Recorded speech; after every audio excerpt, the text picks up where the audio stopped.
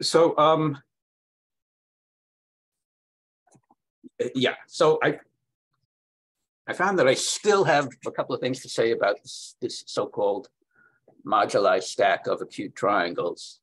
And uh, on the other hand, I still haven't managed to figure out everything about it. So there's still things I don't really know about it. But um, so uh, let's see, maybe it'll help if I uh, just turn on this screen sharing thing here. Uh, is that visible now? Um, yes. Okay, so that's some notes from our discussion last time. And maybe these pictures will help to remind us or explain things to us. Um, so, uh, uh, yeah, I have these pictures conveniently labeled It looks like A got changed into a little E. Sorry, let me just try to fix that. That's so annoying. Yeah. Uh, yes. A, A is that handwriting recognition. Yes. yeah. Ah, ignore that thing, whatever it is. There's no way to get rid of those. yeah. Okay. you know that really? I don't know. Uh, well, I, no, I, I, for a person who knows how, what they're doing, there must be an easy way to get rid of it. Yeah, yeah. Um, so, Okay. uh, so I, I I wanted to refer to picture B over here, which is on the right hand over on here, because because that's like a picture, a very bad picture of this uh, Coxeter tessellation. Um, uh, I mean, it's like a tessellation of fundamental domains for the extended modular group. Am I saying that correctly? Which is, uh, you can think of it as GL2Z acting on the upper half plane. And um, picture D is actually the same tessellation, but drawn in this Beltrami-Klein projection, which is a non-conformal projection. But um, that seems So that Yeah, I, I think that what? Is that where the geodesics are straight lines? Is that the, Yes, they're supposed to be. Those are attempted straight lines. Uh, Mhm. that's right. That's right. And um, so um, this uh, this topic started for me with noticing that. Well, I mean, so uh, what, what am I trying to say? That the hmm, this tessellation for the extended modular group, it's uh, semi-famously related to the moduli stack of elliptic curves. So I guess people tell me that what, that this, let's say this is the origin right there. That's where zero is. And um, this is some famous, Yep. That's the famous fundamental domain, pre- preferred favorite fundamental domain for the, uh, for this moduli stack of uh, elliptic curves. Um, but I noticed from staring at this picture that there's another thing that you can look at in this picture. Uh, there's a, a- slightly different thing, which I prefer to think about, which is this thing over here.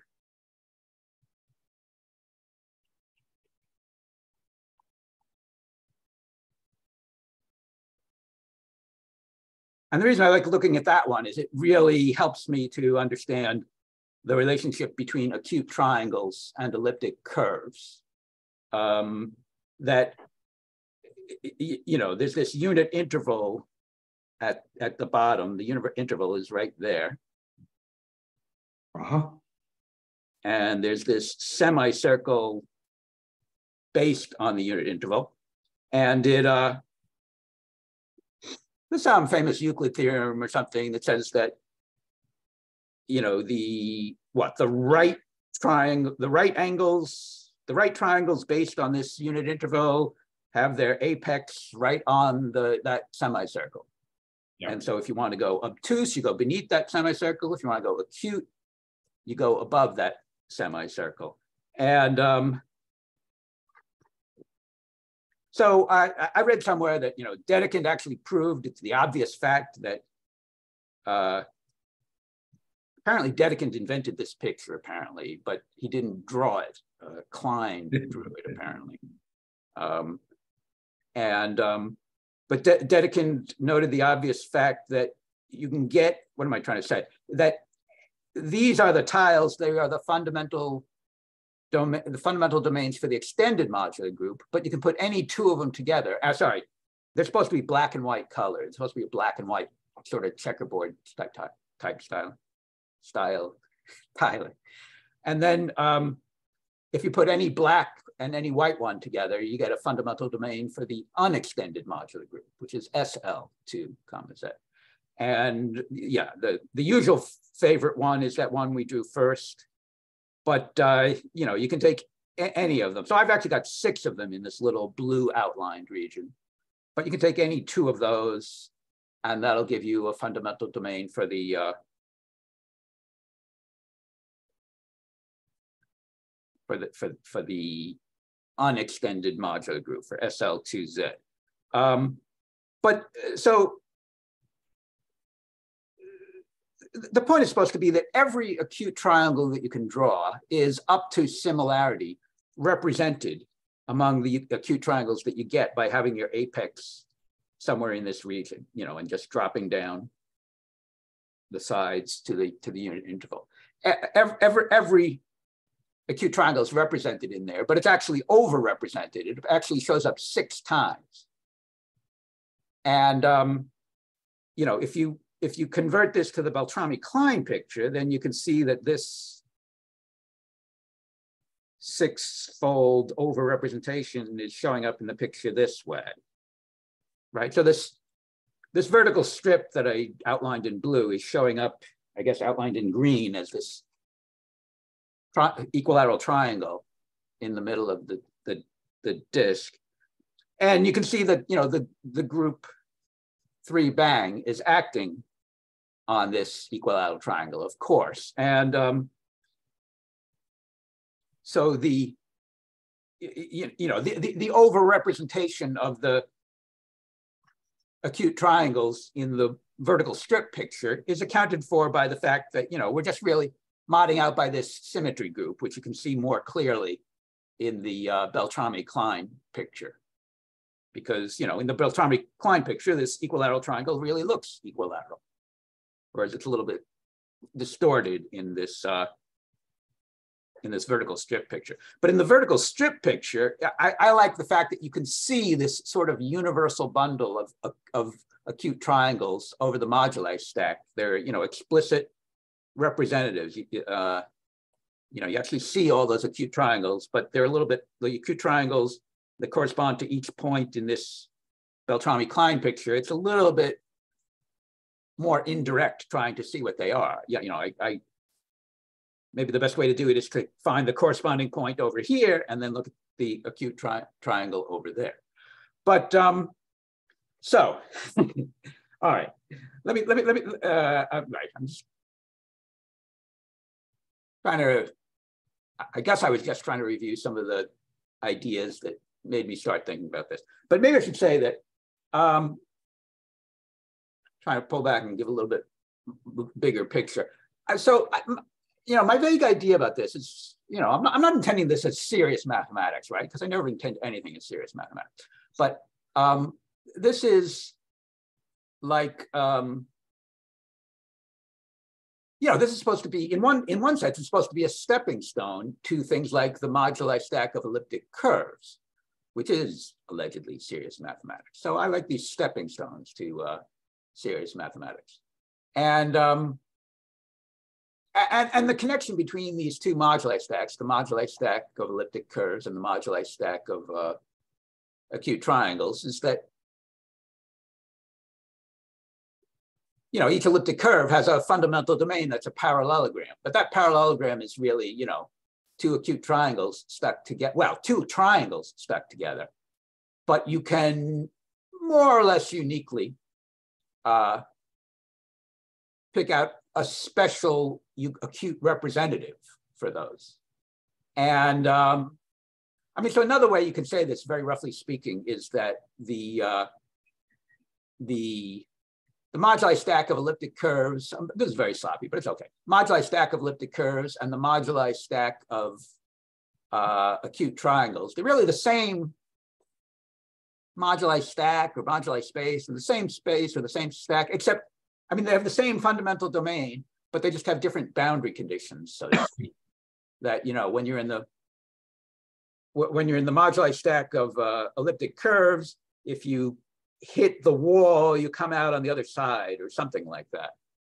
Um, whereas if you're in the moduli stack of elliptic curve, a moduli stack of acute triangles, and if you hit the wall, you just hit the wall.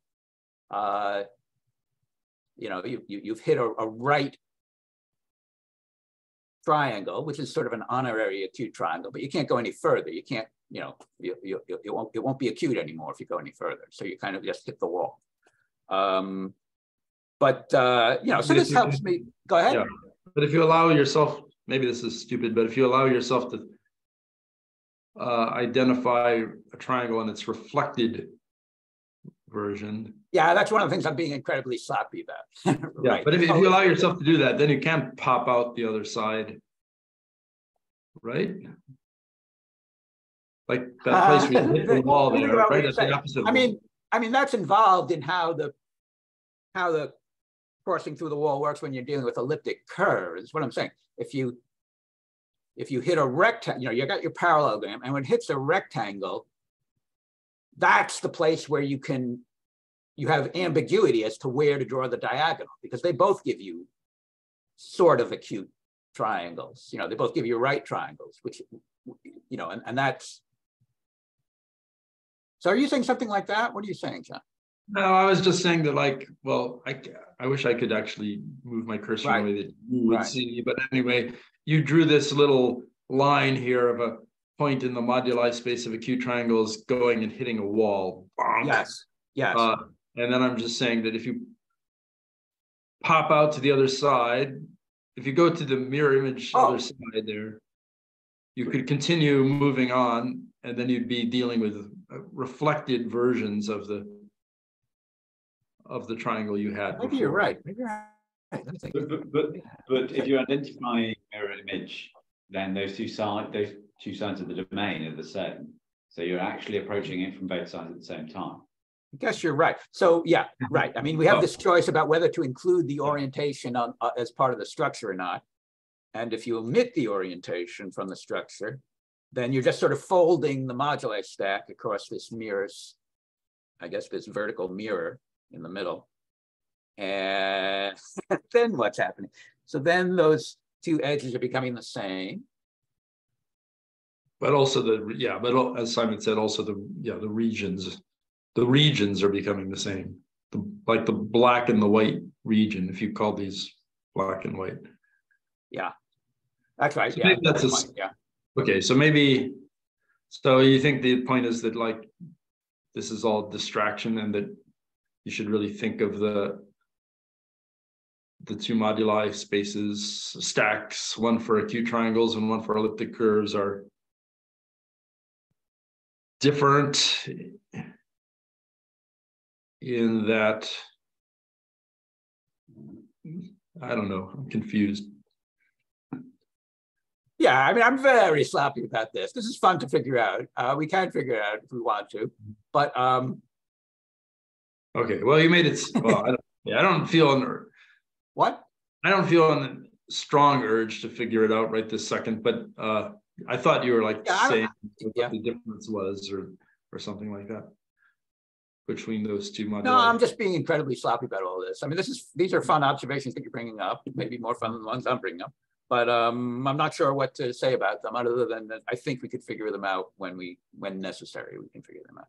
But okay, I'm, I'm, I'm, still distracting myself from saying something big picture here that I was trying to. Yeah, again, that, that's better. Do that. okay, which was um, that you know, this sort of toy moduli stack as a stepping stone to more serious moduli stack. So I have the vague idea that I mean, this, so this is an arguable. I, I could as easily argue against it as argue in, in, favor, or I could argue for some competitor. But this is this is an example of a Grothendieck topos that I might I might try to argue that this would be a good first example for, for everyone to learn as an example of a Grothendieck topos. Um, so it's it's really just this this one way you can think of it is it's this equilateral triangle. Um, but then we want to take the orbit topos under the action of this symmetry group three bang. So it's, you know, so I'm just saying it's like the, uh, you know, if we make it into an actual topos, the, the, it would be the sheaves it would be the equivariant sheaves over this uh, equilateral triangle. Um, you know, that's an actual Grothendieck topos. And it's sort of a fun topos to, to think about. Uh, it, so, I, you know, if you think about the topos in sort of in terms of its points, then its points are sort of uh, equilateral, sorry, are sort of acute triangles. So it's like you could you could call it the the topos of acute triangles. And you know, in in in in in in suggesting to argue that this is a good first example, or things like this are a good first example for people to learn of Grothendieck toposes. Um, you know, the idea, the idea, part of the idea is that you get the sense that, well, the points of a topos are kind of interesting. They're not just points, they are objects of some kind, you know, like an acute triangle is like an object, and the object itself, the acute triangle, could have some symmetries. It could be an isosceles acute triangle, or even an equilateral acute triangle. And, you know, roughly speaking, that's a first idea of what a topos is. It's like a topological space, except it's more fun because the points can have automorphisms and stuff like that. Mm -hmm. uh, you know, so this is also sounds a lot like an orbifold. So, you know, various people have told me you agreed with me that you know you, it's a good idea to think of orbifolds as Grothendieck toposes. Um, you know, so in other words, understand an orbifold by understanding the equivariant sheaves over the over it, so to speak. Mm -hmm. And um, and you know, so you could also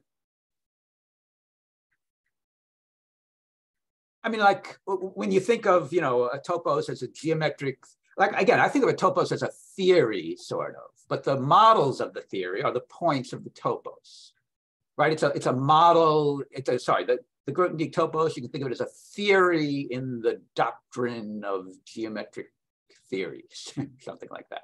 It's a, yeah, it's a geometric theory, and um, you can you know you can imagine sort of. Uh, sketching the theory or you know sort of like axiomatizing the theory or something like that. You could say that well it's like the theory of a of an unordered three tuple of real numbers and, and those real numbers might represent something like the angles of the triangle or something like that. And you know, there are ways you can put this into geometric logic. You can you can write down a, an axiomatization of this geometric theory in, you know, the syntax of geometric logic. Uh, I'm being very sloppy about that too, because for one thing, I tend to write, I tend to use my my syntax. I tend to use a different syntax from the way lots of other people you write the syntax of geometric theories. But you could, it, you know, you, you, you could express this theory in some in the syntax of geometric logic, and moreover, you can express it in a way that really makes it sound like the models are acute triangles. um, uh, but you can also so so right there's another picture that we can draw of this moduli stack. It's a very sloppy picture. So I mean, let me draw a little sector here, one sixth of this equilateral triangle. Right, because when we're taking the orbit topos, we're sort of folding that over onto that. So, right, if we if if we took the orbit space instead of the orbit topos, then we would just get this, you know, this this topological space. That's this one sixth sector of the equilateral triangle. But um, but if we take the orbit topos, then we're getting, you know, these very stacky points. We're getting this. so what's going on here? Uh, mod six, sorry, a, an eight, an, a three bang symmetry for the point right in the middle there, the equilateral triangle. Okay, okay, so that's a very stacky point. That's a highly stacky point. But where are the other stacky points? And then we get some isosceles triangles, which were easier to see which ones those were in the other picture. They, those must be there. But what, what about the other part here? Is, is that our right triangles? Are those stacky in some way? Maybe that's related to what you were saying. Let's see. Uh, uh, I don't think those, that's weird. I don't, they don't sound stacky. They don't well, again, stacky. I'm being so sloppy about whether we're including the orientation or not. Um, well, here you're, here you are. I mean, are those the right triangles? Let's see. Go ahead. Yeah. I mean, if you're thinking of one oh oh uh, of this thing is the space you're interested in, that's you're modding out by orientation reversals. Yeah, I mean, so let, let's see where this is here. I mean, this is like here.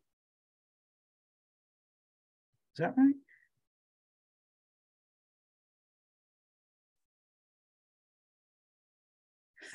so what's going on? So these are isosceles triangles. What are these things here? Those are Ah, those are isosceles triangles too. So apparently these are isosceles too. Am I totally confused about that? Oh, I guess you got to be. It's got to be right, just because the, if we're modding out by the three bang symmetry.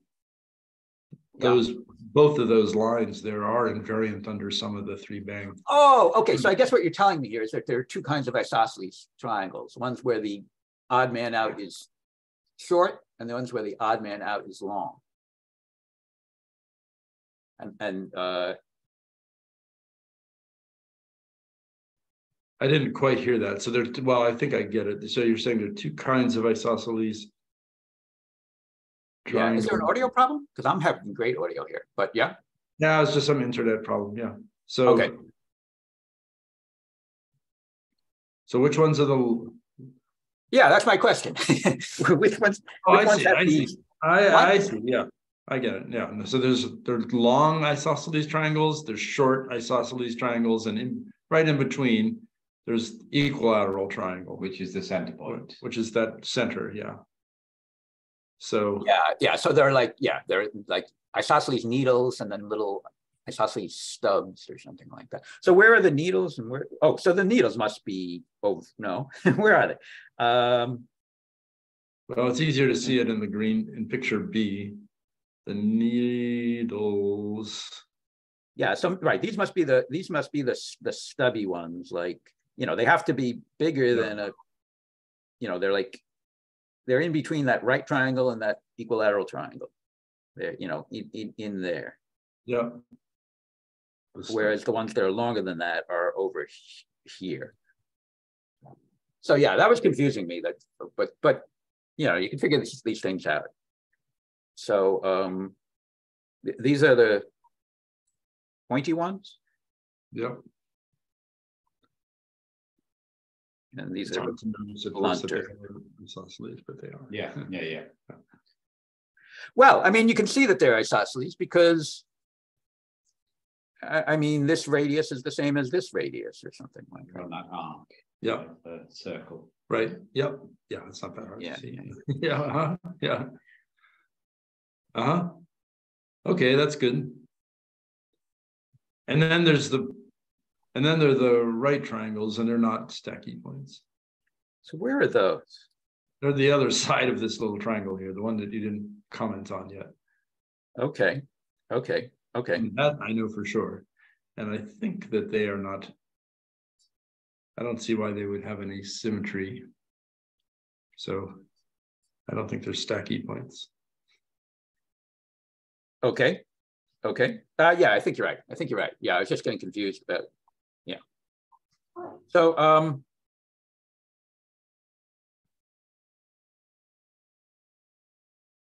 so one of the things that you can see uh, about this, um, this particular topos. I mean, I don't, I don't even know how, you know, to what extent is this kind of visual visualization legitimate for toposes. It's, it's legitimate for some kind of toposes to some extent. But what I'm thinking here is if I look at the stacky part of this topos, and then if I look at the unstack, the complement to that, the unstacky part of the topos, that unstacky part is um, is very uh, contractible. Mhm. And so, so that leads to this little lemma that I mentioned, um, which says that, so first of all, I call this topos, sometimes call it the topos of acute triangles, if you're describing what the points are. Um, but I also sometimes call it the Toblerone topos. You know, if you think in terms of the variable points of this uh, topos, like the points indexed by the unit interval, they kind of look like Toblerones, which was I probably should have known that, that, but somebody had to point it out to me when I was talking about this stuff. Um, and um, Simon wasn't there for that. So I mean, they look like every slice of a Toblerone is more or less the same kind of triangle. Yeah. Well, I guess we're simplifying this Toblerone, but then you can imagine weird ones where the where they the shape of the acute triangle changed as you went along, and that would be like yes, as, as, as, as, as, as, as somebody put it to me, that, that these are Toblerones that have been lying out in the sun too long. Um, and, uh, you know, and then instead of using the, instead of taking the unit interval as the parameter space, you could take, for example, the circle as the parameter space, the parameter topos. And you could look at, you know, so you so you're looking at kind of loops in this topos. Uh, so those are kind of, you know, Möbius or non-Möbius Toblerones. And um, so, uh, so wh- what I'm trying to say here is that, yeah, there's a little lemma that, that goes like this. It says, if you've got a, uh, if you've got a, a, uh, if, if, if, if you've got a loop in the topos of acute triangles, in other words, if you've got one of these circular to- Toblerones, circular melty Toblerones, I guess, yeah, little Dali-esque Toblerones, I guess. Um, a circular Toblerone, then you can ask whether it's just uh, topolo, what what am I trying to say? You can ask whether it's this, I'm not sure how to say it here, but you, but you, but you can talk about, you know, whether it's got a Möbius twist in it or, or something like that. Um, you know, in the ternary sense, I guess, right? I mean, we've got these triangles, but you can you can put a twist in them. You can put a one-third twist in them before you join the ends of the Toblerone together. Um, so you can ask when you have one of these circular Toblerones, you can ask whether it's uh, uh, homotopy theoretically uh, trivial or something like that. And so uh, the point I'm trying to belabor here is that if you've got one of these topologically non-trivial ones, homo, if you've got one of these homo, homotopically non-trivial ones, a genuinely Möbius Toblerone, then one of these slices, one of these cross sections has to be isosceles, at least. Because, um, well, one way to say it is because the unstacky points are contractible, right? So if you're kind of, if you're avoiding the stacky part of the topos, then you're just inside this contractible space. And so your loop is just going to be a, a trivial loop, a, homo, a null homotopic loop. Um, so that the only way you can get one of these Möbius ones is if you visit, if your loop visits the stacky part of, of, the, of the topos.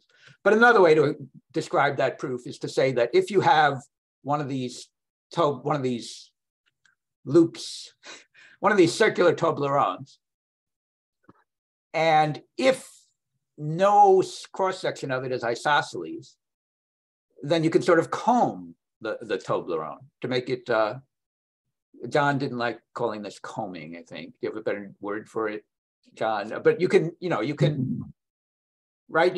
Each, each of the triangles has a longest side, a, a middle side, and a shortest side. And, and, you know, there's a consistent choice of those because you're not allowed to have the longest one, you know, the, the longest side, the longest length isn't allowed to coincide with the next length, et cetera, et cetera. So that's just another way of expressing the, another way of expressing the proof of the same lemma. But I think if you stare at those two proofs, So- Sorry, what, what was coning? say that again? What, what was coning? Homing. Oh, Combing, combing. combing, Ah. combing. I'm thinking of like combing a braid or something like that. I mean, you know, Like you may have this. Realizing the twist in the. Ah, right, so, right, okay, yeah, so I thought you were coning, putting an extra vertex. Yeah, no. Okay. So, um, yes, okay. So, um, oh yeah. So, again, I could argue against my suggestion here. I right, I could, there are all sorts of other toposes that might be good first examples to teach people about what a topos is. But I, I I'm, I'm toying with this idea that you could teach teach people this example of a, of a topos to get an, a, a sense of what a topos is. I mean, there-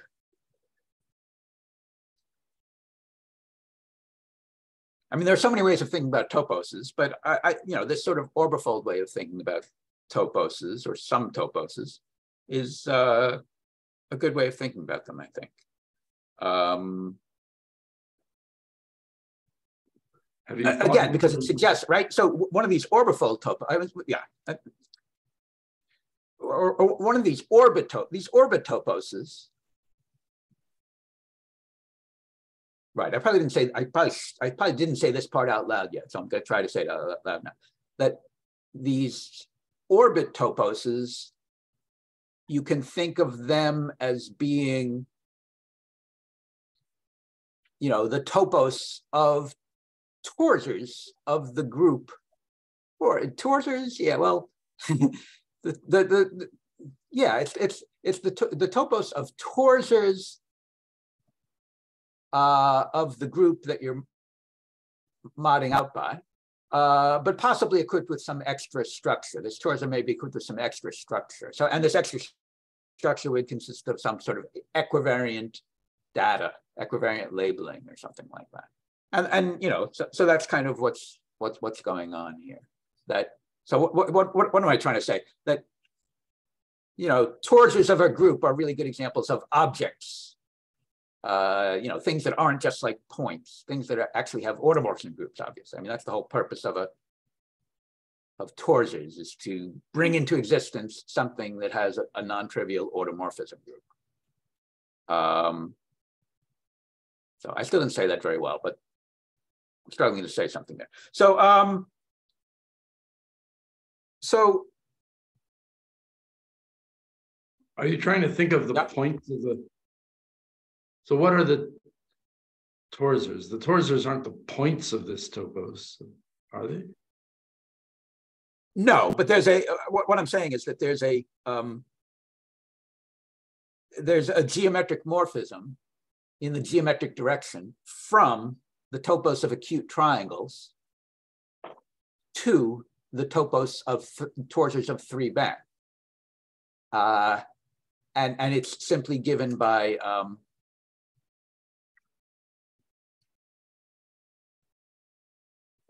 how do I say this? About by, yes, but, but, but, but if you start with a acute triangle, you can just remember it's abstract three element set of corners. And, and a, a, a three element set, an abstract three element set.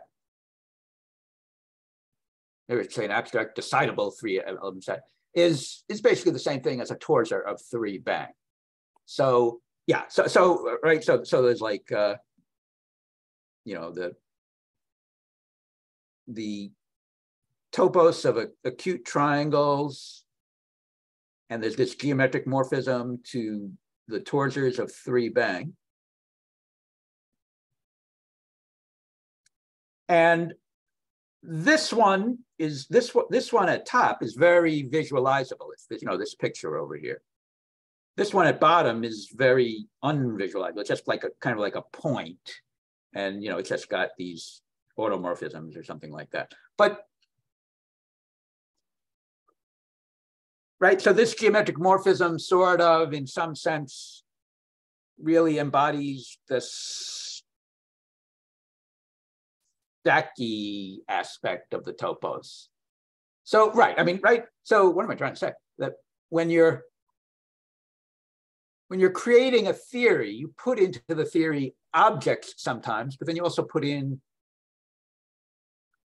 uh, so object, right, I'll, I'll, use my language, right? So now I have to try to remember what my language is. So my language is um, stuff, structure, and properties.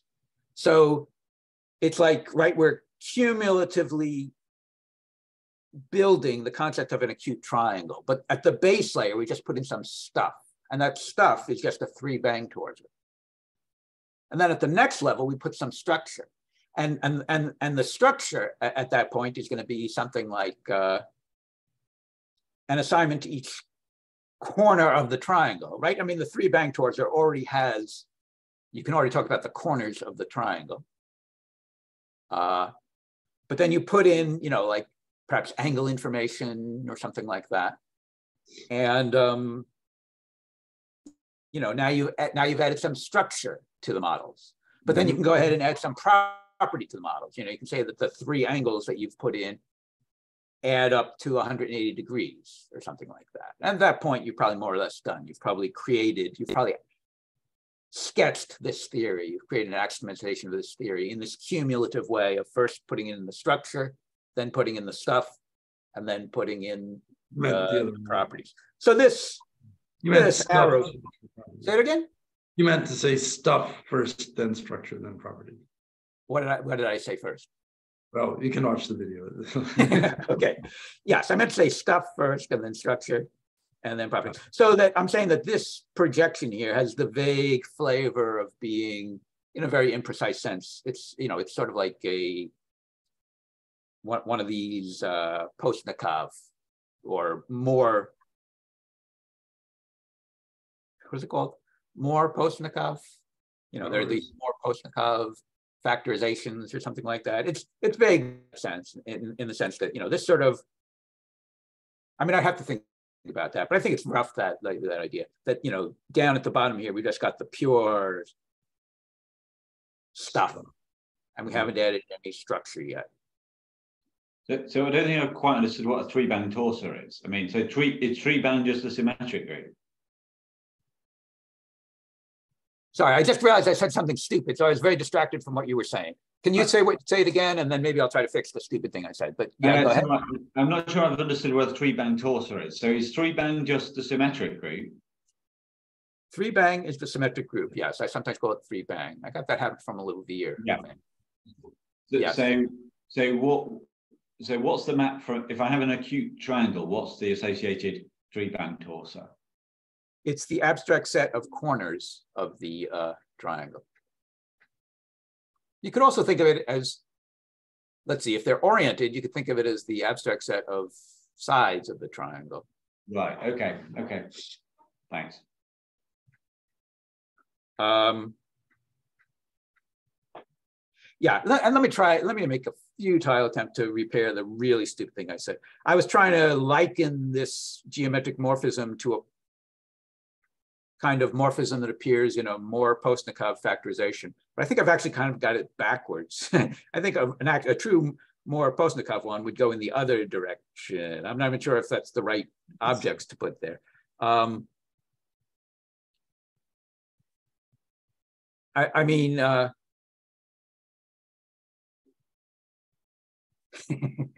how do I get out of this? Uh, I mean, you can take. yeah, go ahead. I mean, if you have a category, you can try to map it to something where you've some other category where you've forgotten some properties of the objects and then forgot forget some. Yeah, I mean, when you're doing sure. when, you, when you're oh, doing more post, so go ahead. We're not forgetting the stuff. We we're just forgetting the property and the structure, and down at the bottom we still have the stuff, I guess. But that's that's sort of the direction of convenience, but that's not the Postnikov direction. In the Postnikov thing, you really do, you start out forgetting the stuff is the first thing you forget. And then you forget the structure, and then you forget the properties. Uh. And, and yeah, I'm re- I, I, I really screwed that up by dragging us into that. But yeah, so yeah, let's let's not get into that right now because I screwed up so badly that it. Okay. But if you really want to learn that stuff, then then part of the point is that the Postnikov towers, yeah, they forget the struct, they forget the stuff first, then they forget the structure, then they forget the properties um, as you're following the arrows downstream. Um, and, and, and, and those Postnikov things are very unique, right? It's, it's, it's, a functorial factorization. It's a functorial factorization system.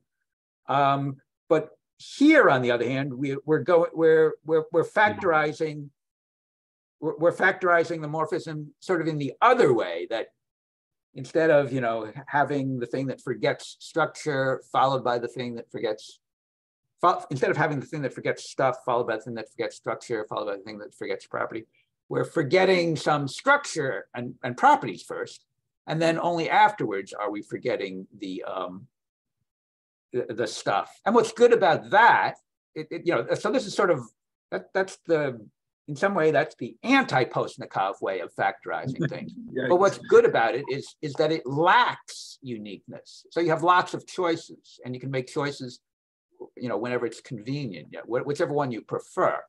You know, the Postnikov thing is very nice because it doesn't give you the freedom to choose the factorization. It's kind of unique. Um, but but when you do the anti-Postnikov factorizations, you have choices to make all over the place. And, and, that corresponds to the way there are zillions of different axiomatizations of a theory. You know, first you list the stuff in the theory. I know you're going back up now. Yeah. Uh, uh, right, but that's because of the other thing. That's because of the geometry versus the algebra. Yeah, that's okay. Yeah, I get it. Yeah. First you list your stuff, then your structure, then your properties, and you could define the same category of final entities starting. Right, and in the categorified algebraic geometry, you know, the algebra and the geometry are reverse of each other, just like in ordinary algebraic geometry. All right, so sorry. So um, so one of the things I was trying to say here is something that you brought up last time, John, um, which is, um,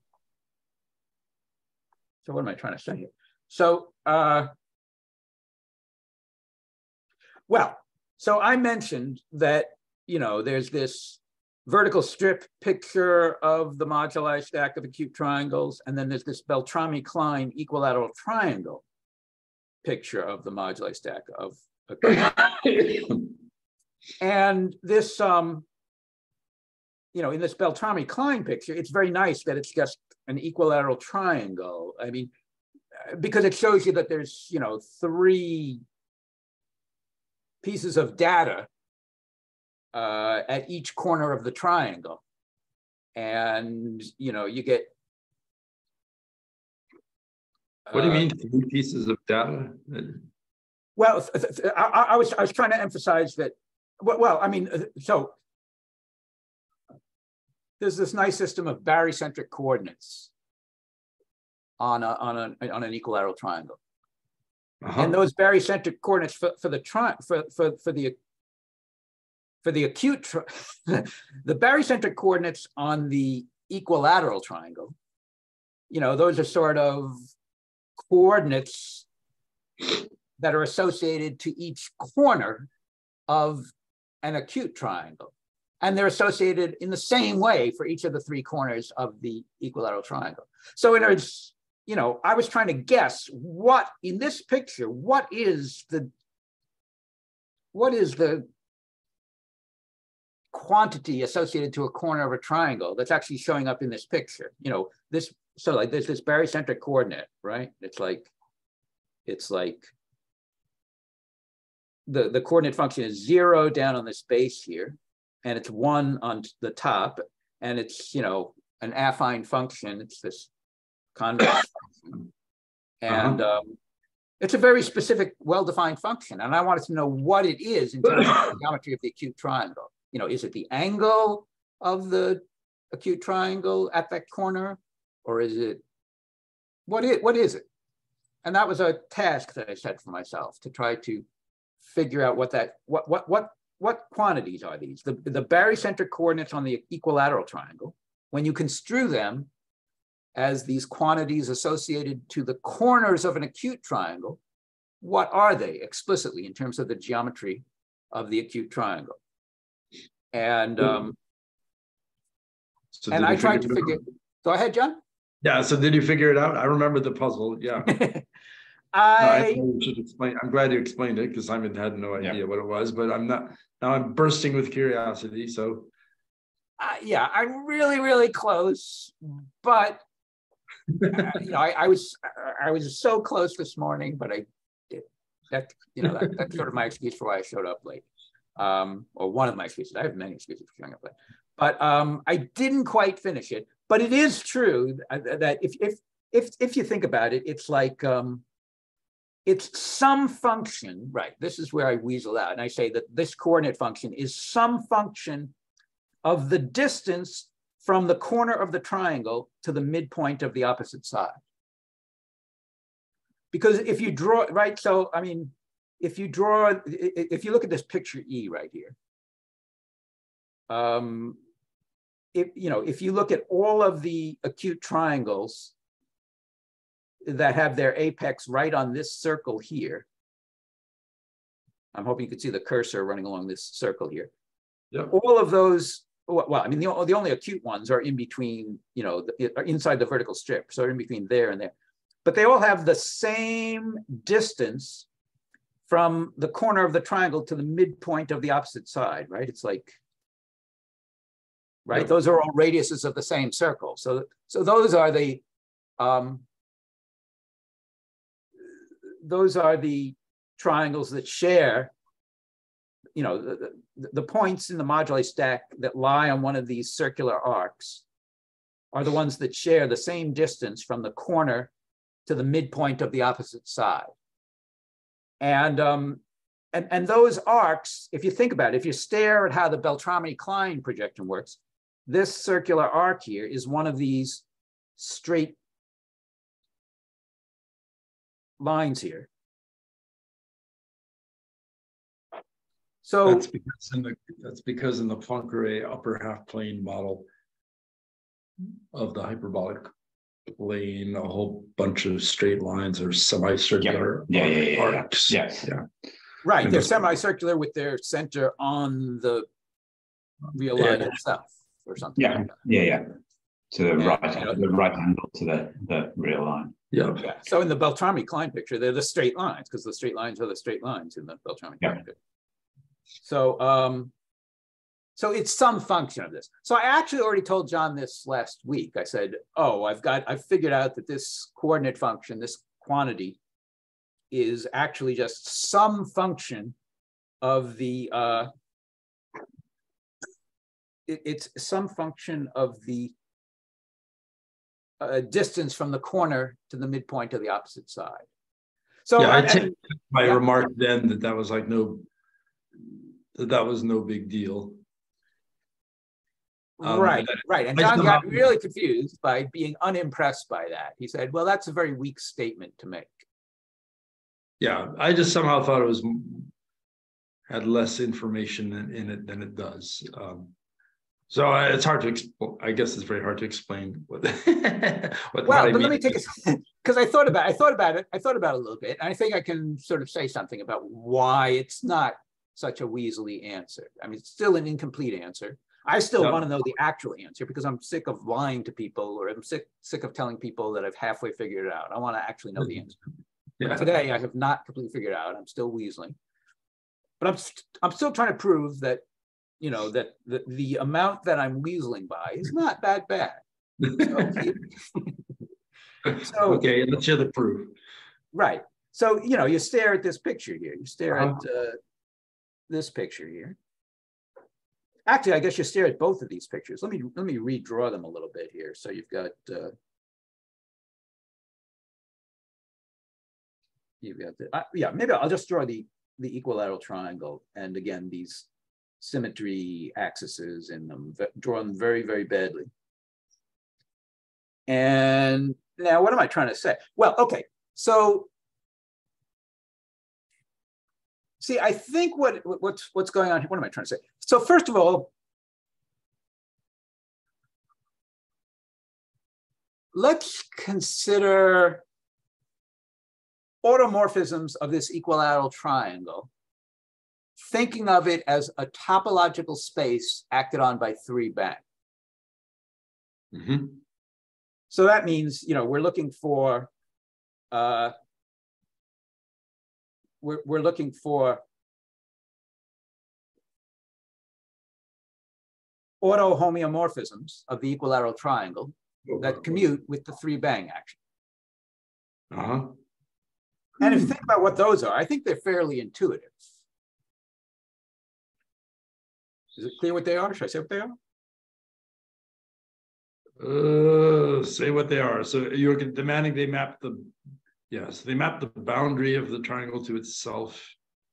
Right. They have to map the boundary to the, to the triangle of itself. So I, I think the point is that they have they have a lot of freedom in the middle here, but they're you know somewhat constrained here and they're somewhat constrained here, and they're really constrained right there, right? I mean the the only fixed the unique fixed point has to go to itself. Yep. And then this whole edge has to go to itself, but it can be reparameterized, except that you have to keep that endpoint fixed. Uh-huh. And this one can be reparameterized, but it has to go to itself, but can be reparameterized within itself. But you have to keep that endpoint fixed. I guess you have to keep the other endpoint fixed too, because it's, you know, topologically sticks out like a sore thumb. So you kind of, you know, you can, you have to keep the this midpoint of the triangle fixed, but you can reparameterize that. You can reparameterize that. I guess you also have to, I guess you also have to keep yeah, you have to keep things on that edge, even though they're not stacky, they still stick out like a sore thumb. You have to send that edge to itself, but they can be reparameterized. And then in the middle, you get a lot of freedom about how to reparameterize, except that the boundary has to, you know, stick with whatever reparameterization you already picked. Uh-huh. Okay, and, yep. So you can apply those automorphisms, that kind of automorphism, you can apply them to any quantity that you come up with, and you'll get some other quantity that you know works. You know, it, it right. It, it, will still have the same moduli stack, but using a different quantity. So you know, you could, one thing you could use is the angle at each corner. Or another thing you could use is this one that shows up in the Beltrami-Klein picture, which is the distance from the corner to the midpoint of the opposite side. Um, now, to get that one to really work, you should measure it in terms of, you know, use, use the opposite side as a unit of length. So it's like the ratio between this length and this length or something like that to make it an abstract number or something like that. And you could also use just the length of the opposite side as a fraction of the perimeter of the triangle. You could use that, right? There are all these different, zillion, yep. right? You can get zillions of quantities that all make the moduli stack look like an equilateral triangle. But, you know, they're all really different from each other. I mean, yeah. in one yeah, way, they're all yeah. different from each other. In another way, they're all the same. I mean, they're right. They're all different from each other in the in the in, in the in the sense that they're giving you different kind of information about the angle of the acute triangle. But in terms of the abstract moduli stack, they're just you know fixed under the this big automorphism group where you take the automorphisms that are three bang equivariant. So right, so this this is this was supposed to accomplish exactly what I said. It's supposed to make my my original answer, my halfway answer looked not so weaselly, right? Because in other words, just just saying that it's a function of the distance to the midpoint of the opposite side, that's already giving up, that's narrowing it down a lot. You know, it's saying yep. it's not the angle, it's not the. Yep. Uh-huh. Yeah, no, you're right. I, yep. yeah. So I agree. Yeah. So you're not as bad as I said. right. Uh, exactly. Exactly. yeah. So QED. So right, right, right. That's right. So yeah, but okay, but someday you'll tell me what function it is. Yeah, yeah, yeah. Right. so um like I say, I'm very disorganized today, but um Do you want to switch over to the other subject, the, the class field theory subject? Or what do we want to call that, Montesino stuff? Perhaps, perhaps. Does anybody else want to bring anything else up? Um, I mean, we're also allowed to quit early if we want to. Um, let's see. Uh, I wouldn't mind quitting early, actually, because I'm. Uh. I'm talking to too many people. Simon is here and I'm talking to him, then I'm gonna, then at three, I'm gonna sure. have to. I think. Yeah, so I really do want to talk a lot more about this Montesino stuff, but Uh-huh. um, you know, it would be starting a second topic today. So maybe it really does make sense to quit early today. Um, is there anything else we should do before we quit? Or are we? One thing I just wanted to mention Yeah, about this, one thing about this stuff is that. Yeah. You must have observed is that. You can think of this stuff. As being associated to a particular. Coxeter group, Yes, uh, namely, I guess, PGL two Z or something. Maybe it's GL two Z. Um, Uh, but. so the, the, the Coxeter group is actually GL2Z. The, the reflection group is GL2Z. That's the extended modular group. The, the Coxeter rotation group, you know, the even part of the Coxeter group is the unextended uh, modular group, which is SL2. Yeah, I was worrying about the P or not P, but okay. Anyway, I oh, don't. oh, oh, uh, yeah, you're right. I screwed that up. um, right. Okay. This is Yeah, yeah. wanted to think about, But, but uh, there is that, there is, that's another thing that's always confusing. Yeah, I think I think you have to say PSL and PGL, right? Probably Yeah. every time I I probably accidentally omitted to say the P every time. I'm guessing that that would fix that mistake. Yeah. So go ahead, yeah. Yeah, anyway. Um, so you could try to copy this stuff that you're talking about right now for all sorts of other Coxeter groups. Well, I mean, uh, uh, I have to I have to try to clarify here because I mean, there's another Coxeter group here, which is three bang, and I thought maybe you meant we can do we can try to do what you're doing for. We can, we can take what we're doing here for three bang and we can try to do it for any other Coxeter group. I thought that's what we were going to say. Uh, well, that's, that's, very that's very easy to do. That's very easy to do. But maybe you really are suggesting something more interesting, and you really want to try to do something. You want to try to generalize what we're doing here for this big infinite Coxeter group, this big hyperbolic Coxeter group, and you want to try to generalize that to other Coxeter groups.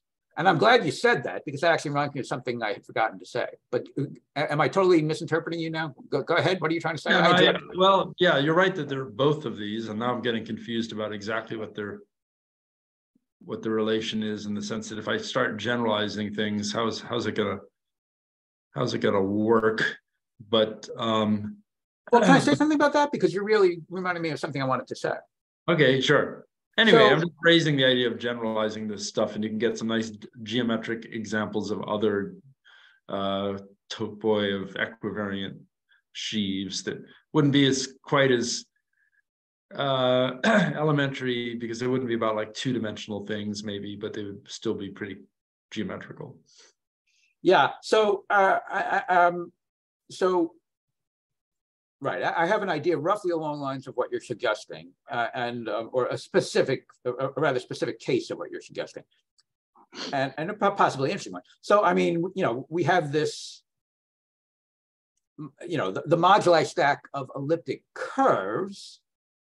It is is related to um, this. Uh, this hyperbolic Coxeter group that we've been drawing here, um, this PGL2 comma Z, if I didn't screw up.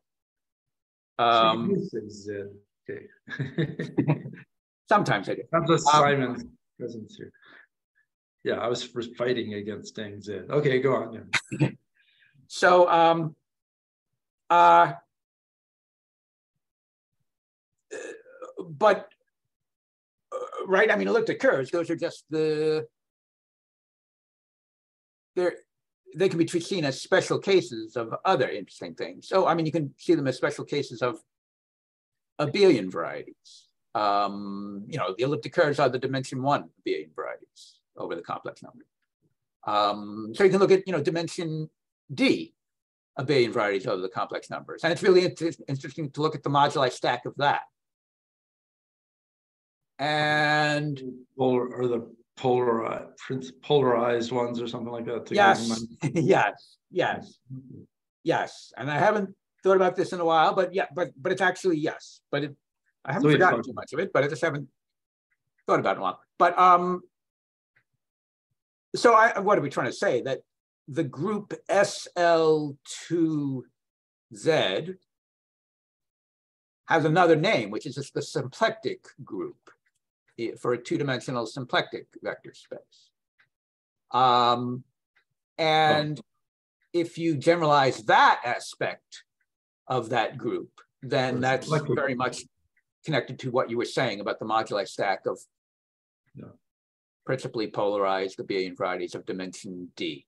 So there's, you know, some, some symplectic. So yeah, so. So just to, for the record, so that nobody watches this video and accuses us of inaccuracy. I mean, so it's SL2R is the symplectic group, and then it has this, I guess they even call it like a lattice in it, uh, SL2Z Yes, but it's also a symplectic group of some kind. It's like a yeah, it's like a yeah, it's like an integral form of the symplectic group. Yeah, uh huh. Yeah. Yes, Anyways. yes, well, and there's so many things that we are being sloppy and inaccurate about that that didn't even help at all. Okay, great. Well, anyway, I thought it helped, but okay. But but but but but but the point is that my attempted interpretation of your suggestion yeah. to generalize this is, is, is, is exactly in this direction. That, yeah. So uh, then we get into this. Um, and I've thought about a little bit about this, but I haven't made much progress with it at, at all. But, it, but, but yeah, I think this is an interesting direction to try to generalize. Yeah. Um, What's what, the buzzword for the that generalization? I'm blanking out on the guy who's half space is generalized. Uh, Siegel, uh, S I E. Yeah. Siegel, S I E T E L. Siegel upper half space. So that's like Siegel upper half space. Yeah. Game. Yes. So and I've never like seen. I mean, picture. I have to stop and think about whether that's even a Coxeter group. Um, but what were you going to say? Go ahead. Yeah. Like if you tried to even draw... if it isn't a Coxeter group, you can still you know do this kind of thing, and it's like a Shimura right. variety or something like that. Yeah. Um, what sort of like what's the next dimensional case of what's like when you go up to the next case, right after yes. the case that we're looking at? Yes, two-dimensional abelian varieties, yes. Yeah, so then this uh, hyperbolic plane here turns into a, a which is two real dimensional. Yeah, it turns into a four real dimensional thing. Uh, is that right? I used to know this dimension. I can't remember. Yeah, anyway. yeah, right at my fingertips. Uh, let's see. Um, well, uh, let's see. So there's a, mm, let's see. I don't, I don't know why I thought it would go up by two. Um, no, I think you're right. I think it goes by triangle numbers. I think it goes one, hmm. three, six, hmm. 10, hmm. 15 or something okay. like that. Well, right. then I'm completely lucked out. So, I mean, right, there's also the moduli stack of genus G curves, which fits in sort of inside the moduli stack of dimension D polarized abelian varieties. And those, you know, the numerology of those goes something like 1, 3, 6, 9, 12, 15. So that's fitting inside 1, 3, 6, 10. You know, that's one, three, six, nine, 12. There's a, there's a hiccup. That's the, one of these hiccups at the start there. Yeah, yeah, that's a hiccup. And you can even understand why there's a hiccup there. But yeah. Um, yeah, yeah. yeah. Right. Anyway, so it could, yeah. Well, I was just asking about the dimension because it would be, it's too bad there's not like a. Right. So it's six complex dimensions. dimensions. It's, it's, it's sorry, it's three complex dimensions, which is six real dimensions. So it's a little bit hard for me personally to visualize. Um, yeah. But, well. but but it's still fun to, to to try to make progress with it. It's still fun to try to make progress with it. Um, I mean, it's you know it's fun to make try to make progress with it in you know sophisticated ways, uh, but it's also fun to try to make progress with it in very unsophisticated ways, even though it's hard to picture. Yeah. yeah. Um, so yeah, I'm glad you brought that up, the idea, because that's, you know, that, that's a vague idea that I've been thinking about, about, you know, what happens to these acute triangles? So you're, you're, you're, you're trying to tell me that there's some sort of three complex dimensional generalization of an acute triangle that I should be trying to understand. Um, I guess, yeah. I mean, I would have been hoping that there would be something. Yeah, yeah. I just can't remember what this is. I have a feeling. I have a feeling that there really is something good here, but I just don't remember offhand what it's like. And I'm not sure I've got very far with it, but still, I think there's something there. They're fun things to think about there. Um, so, yeah, so maybe it's going off in a different direction than to try to generalize from the acute triangles to like acute tetrahedra. That's but that's also very interesting. To, to this, uh-huh. this this fun stuff about that too. It's replacing three bang with four bang. Yes. Yes. Yes. I mean, uh, I mean, you know, we're definitely at a sort of crossroads where some roads diverge from. So, um, or mm-hmm. crossroads or bottleneck or something. I mean, there's, there's, uh, uh-huh Uh, so yeah, there's there's multiple general multiple directions of generalization, and you have to exercise your personal taste about which directions to pursue, or there may be you know there may be very interesting interconnections between these different directions of generalization, as there is, right? I mean, you know, so you can follow the curves direction of generalization, or you can follow the abelian varieties direction of generalization. But there's this very intimate uh, interrelationship between those, which is that every curve of genus G has a Jacobian abelian variety of dimension G. I hope I said that more or less correctly. Um, but, um, you know, so when you're when you're pursuing these multiple generalizations, you're not just pursuing them in isolation. You're actually trying to understand the interconnections between these different generalizations. So, uh, do you have any more neat ideas to bring up here? Because that, that that was very helpful. Um, uh, anything else no. we do before we quit? Okay. I guess no. um, I guess this is a good place to quit. Okay. Okay. Bye, Simon. Yeah. Yep. Okay, okay. bye, John. Bye. Yep. Thanks a lot. Bye. Yep. See ya.